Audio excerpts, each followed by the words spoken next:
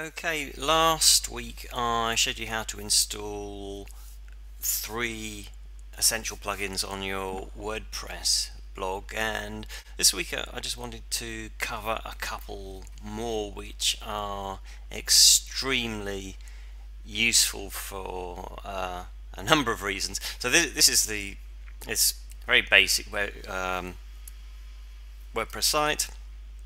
Uh, it uh, let's go, go into the dashboard and you'll see there are four plugins. Three of them are the ones that are the essentials plus the really simple CAPTCHA adds functionality to contact form 7 uh, you can um, you, you, can see the, uh, the, the video on the website uh, if you haven't already seen it. So uh, this week I wanted to um, add a couple of plugins and one of them is the Yoast SEO plugin.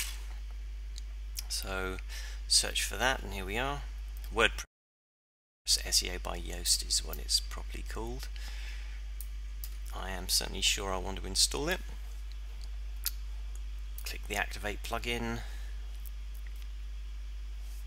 And here we are. I'll say allow tracking it it's a free plugin so we'll uh, allow them to uh, track usage so that they can actually improve the, the product. I think that's fair. Right you'll notice that uh, there's a there's an additional menu here on the left hand side and a, I don't I'm going to say no if you want to subscribe to their newsletter do do but um, it's not not necessary. But the uh, couple of things here. You, you, can use it fairly much um, as it is out of the box. Uh, tracking we've already agreed to that. Security disabled the advanced part of the WordPress SEO meta box now if you've got multiple authors then you may want to do that because it allows you to redirect pages to uh, other websites completely if, if you want but I'm going to uh, I'm going to uh, uncheck that box because I do want to be able to um, do that. I'm not going to bother with the web webmaster tools. Um, if you need to get the site verified then it allows you to do that because basically for example Google Webmaster Tools you need to uh, enter uh, an identifying code in there. Um, once you've put it in here, it'll display it in the header of your website invisibly, and Google will be able to, to verify your website. It, it, that's all it does. You don't need to do that uh, at the moment. Okay, titles and metas. I'm I'm not going to um, do anything with this uh, sometimes I found that you need to force rewrite titles. Um, I'm not even going to explain that. And I, I, wouldn't I wouldn't worry too too much about anything there. Uh, social. Here we go here. Um, basically, if you uh, in if you insert your uh, your, your Facebook page, Twitter ID, and Google, then the Open Graph data gets inserted in, in the header. Um, you know, it's you, you you don't really need to, to bother with that probably because um, if you add any plugins that um, add social functionality then they will uh, probably uh, add that add that information anyway but uh, okay. Next thing XML sitemap. Yes you definitely want to have the XML sitemap map functionality. That's very useful. Uh, you may want to exclude media because that, that's uh, the attachments like photos and videos that are that are in, in your pages and entries per page I don't think I changed anything, but never mind. Okay, next thing I'm going to say is permalinks. Right, two things here. Strip the category base. If you go and look at a category in WordPress, it will be, for example, davidleigh.net slash category slash category name. Uh, if you want that URL to be simply davidleigh.net slash category name, and you check that box. Uh, the the uh, the actual uh, category base is is unnecessary, but um, there you go.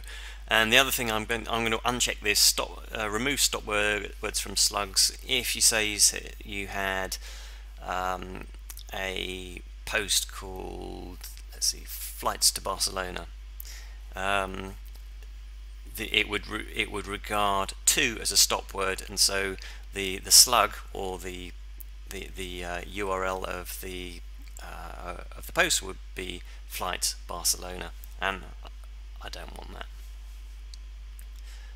Okay, and again, save changes. Okay, uh, that's that's all I'm actually going to uh, do with that. But what what we really want to do is get into using using this. So add a new post. Okay, well we'll do something now. Um, what about if I do installing um, what's it called? WordPress SEO by Yoast. Okay, and Right, we go down here. There's an additional box added to the to, to, to the um, the the the add new post page, and you'll see it, it, dis it displays the um, it, it, displays down here the uh, the title that you've put in here, and if I say my focus keyword, I want to be WordPress SEO. Oops. And it comes up with some, some suggestions, but I'll just stick with WordPress SEO. And you will see that page title it now gets a green yes and a, a point for that. And if I if I save this,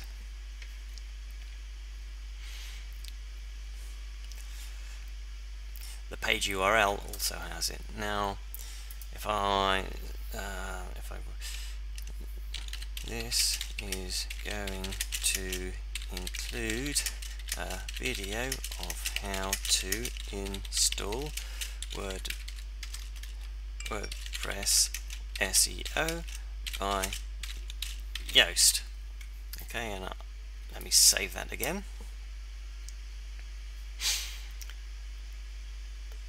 And here you'll see I've got a another another green for, for content. So so basically it's just doing a, a, a simple check uh, to, to make sure that uh, the, the focus keyword is included in various uh, various areas of the page, both uh, both displayed and and hidden. And uh, if I wanted to um, write the meta description, which is the snippet that appears in, in Google, let's say um, watch this video of how to install WordPress SEO by Yoast. Okay, and also the SEO, SEO title, install,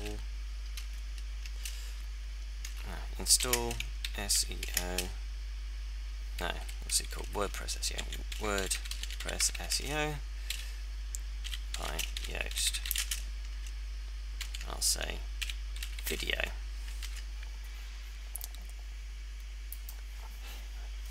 Okay, and as you can see now,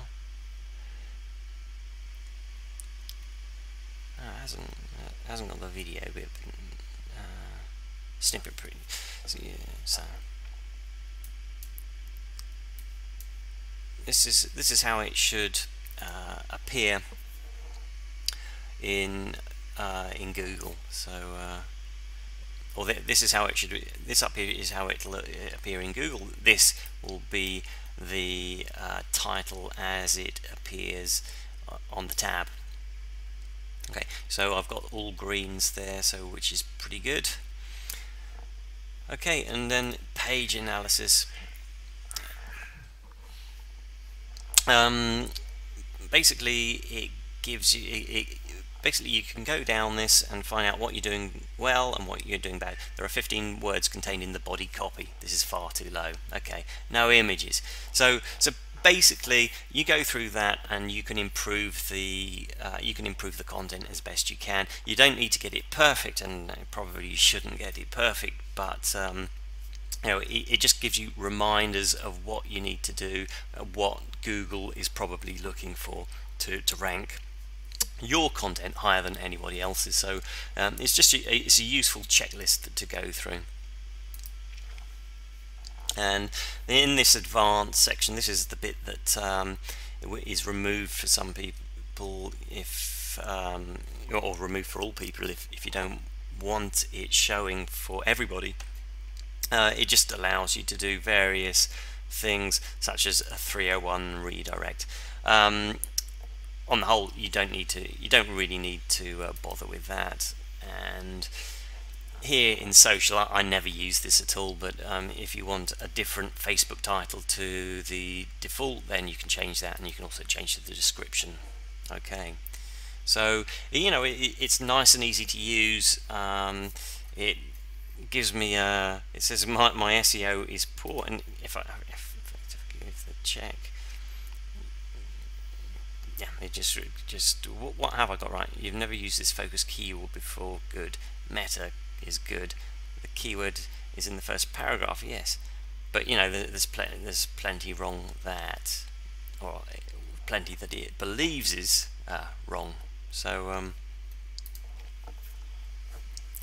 that that that's that. And if you can get a green there all the best. You don't want a red that's for sure but um, if you can get it towards green then you're doing well okay and the other uh, thing that I wanted was uh, another plugin by Yoast it's uh, just Google Analytics oops by Yoast. Let's have a look. See what we've got. Google Analytics by Yoast. Install now. Okay. And activate the plugin. And again, you get an additional um, menu item here. Oops. No, I just pressed the wrong button. Um, here, analytics. Okay, we need you to authenticate with Google Analytics to use this functionality. If you set your yeah, this one, okay. So basically, um, you need to be logged into your analytics profile. Uh, I don't want to show all the websites I've got in mine, uh, so depending on how it goes, I may um, stop this video it, it's self-explanatory. So um, here I go. I may disappear though.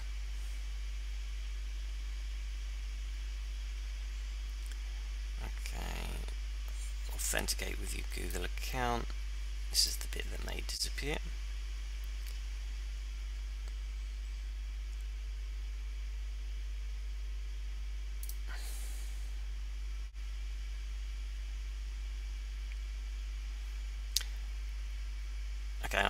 it says yeah, we would like to please, please copy this code, switch to your application and paste it there.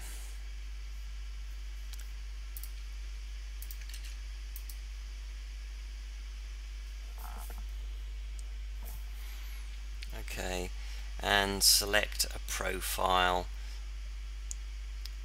Okay, and again it's going to just it's going to show all my websites which I, I don't particularly want to show but uh, let me uh, cut that out.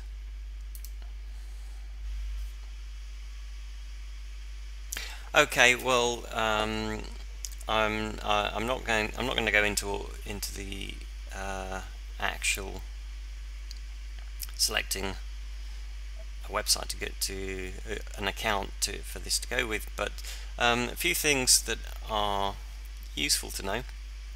Ignore users right okay.